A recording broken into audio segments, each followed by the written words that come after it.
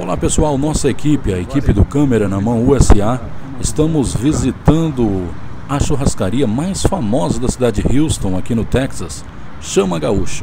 Vamos dar uma olhadinha lá dentro como é. Vamos ver, check it out. Olha isso pessoal, super agradável, é, muito limpo, uma limpeza profunda. Olha aqui como está o buffet, muito bonito. Olha pessoal, e não é caro, viu?